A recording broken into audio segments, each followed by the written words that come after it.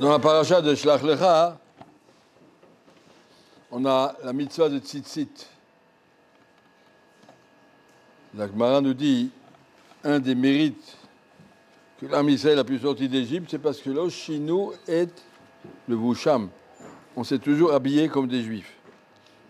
Même si on était mélangés, ils ont gardé le Shonam, n'ont pas changé leur langue, leur prénom et leurs vêtements. Et le vêtement d'un juif, tel que la Torah nous le décrit ici, là où tu vas dans le monde, tu vois un juif qui a un talit katan, tu vois un juif qui a un tzitzit, c'est un siman qui est conscient de son judaïsme. S'il se cache, il se cache. Shulchan il dit on ne peut pas marcher à mot sans tzitzit. Fais attention. La, mitzvah de tzitzit donc, est tellement importante parce qu'elle définit la tsura d'un juif.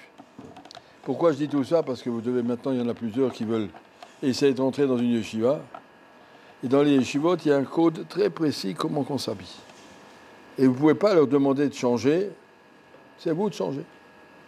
La yeshiva, elle a son style, voilà, c'est comme ça. Cette yeshiva, tu veux aller, tu deviens comme eux. Si tu veux rentrer dans une yeshiva et tu vas aller avec des, comment on des baskets ou des Nike ou des, ou des crocs ou des trucs, ça n'existe pas. Ça n'existe pas. Aucune yeshiva aucune yeshiva n'accepte autre chose que les chaussures. Alors, ils sont peut-être bêtes, ils sont peut-être fous, je ne sais pas, je ne veux pas juger. Ils sont comme ça, et donc tu veux entrer là-bas, tu acceptes leur système. Si tu veux être différent, ils ne te prendront jamais. Ni que tu vas rentrer dans le, ni dans l'ensemble, dans l'ambiance la dans l'harmonie de la yeshiva, dans tout ce que la yeshiva peut donner. Accepte, de, un des deux doit changer. Alors c'est toi, le rabbin, il est comme il est. Tu veux rentrer dans le rabbin, alors soit que qu'on fait, il faut rabbin. Il y a un qui est venu voir Steinman. Ils ont refusé mon fils au Heider, un petit garçon de 3 ans. Pourquoi? Parce que sur la kippa, il avait un petit bord comme ça. ça vous, voyez la différence entre une kippa avec un bord ou sans bord? Qu'est-ce que ça fait? Rav a dit Moi, je ne vois pas la différence. Toi, tu vois la différence? C'est pas important. C'est pas important. Fais ce qu'ils te disent. Pourquoi tu te disputes? Rester sur tes positions. C'est pas important. Alors, fais comme eux. C'est pas important de telle chaussure ou tel chapeau ou tel truc. Mais fais comme eux. N'essaye pas d'être différent. Essaye d'être. Tu veux profiter de Shiva alors mets-toi dedans. Surtout, sur tous les points. Beaucoup de choses qu'une yeshiva va imposer, au début c'est difficile à accepter, mais on n'a pas le choix. Ça c'est le levouche, il y a un, un vort connu dans Parashat Rukat. Les Bnei sont partis faire la guerre. Et quand les Knanim de Arad, qui habitent dans le Negev, ont entendu que l'Amisraël voulait passer là-bas par ce col, travers la montagne, pour rentrer en Israël directement. Alors ils sont sortis en guerre. Le peuple juif a fait un Neder Hashem. Si tu me donnes le route de vaincre ce peuple, je détruirai je donne à toute leur ville. Ça veut dire, je ne vais pas faire la guerre pour prendre du butin. On donne tout à Ekdesh, on détruit. Ishma Hashem Kol Israël. Et Kadosh a écouté la tfila.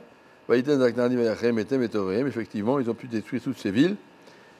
Alors maintenant, pourquoi ils ont dit ce peuple-là? Pourquoi ils n'ont pas dit clairement, Rachid nous dit. Mais qui c'est qui habite dans le Negev? On met c'est Amalek. Ce n'est pas des Knanim. Knanim, c'est les descendants de Ham. Amalek, c'est un descendant de Esav. Shenima Amalek Yosheb. Shina et le Shono le Dabeb la Knan. Les soldats de Amalek se sont mis à parler en langue de Canaan. Ils sont dit comme ça, les Juifs ont prié Hachem Sauve-nous de tous ces Knanim, on veut se débarrasser des Knanim. La écoute la tuile, la tuile, mais il n'y avait pas de Knanim. La tuile ne va pas servir. Ils ont voulu faire une ruse contre la force de la tuile du Ham Israël.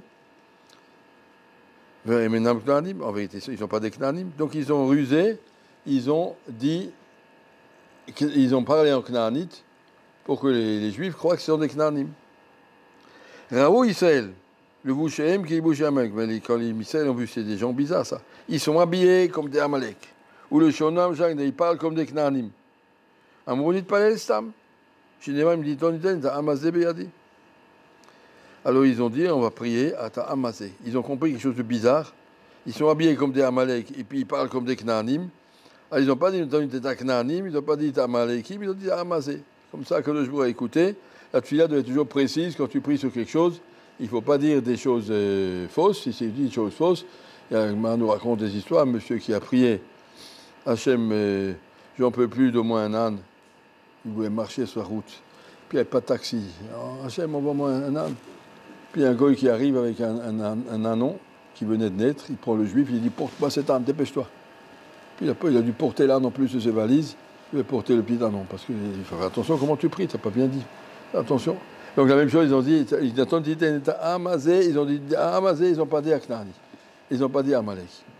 Alors donc ces gens de Amalek, ils voulaient être malins, et ils ont parlé en Knani pour qu'on croit qu'ils sont des Knanim. Mais pourquoi ils ne sont pas habillés en Knanim?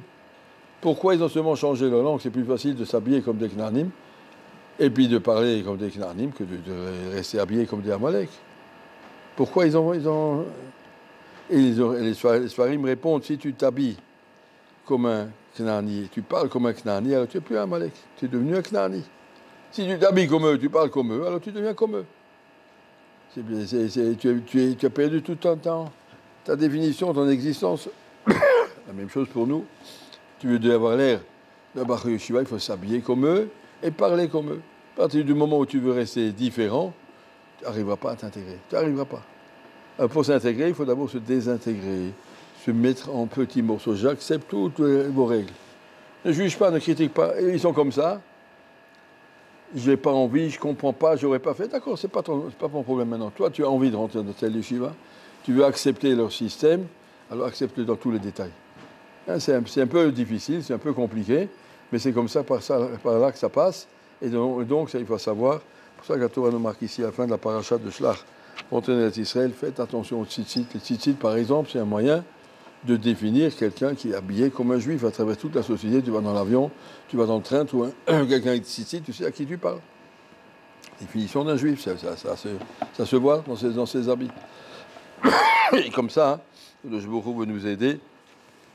L'extérieur nous permet de créer l'intérieur. À travers des petits détails extérieurs. Attention, mais comme eux, c'est pas. Je suis pas un saint, je vais, faire des choses comme pas moi, mais non, mais tu vas t'habiller comme eux, tu vas être comme eux, et après tu vas rentrer dans le système. Quand tu sortiras, tu seras plus dans la yeshiva, tu quand tu seras ingénieur, tu seras facteur, tu t'habilles comme tu voudras. Mais tant que tu veux être dans une yeshiva, rentre dans le système jusqu'au bout. Les attachés, ça c'est un, morceau difficile de votre intégration, mais il faut passer par là, les attachés, on réussira.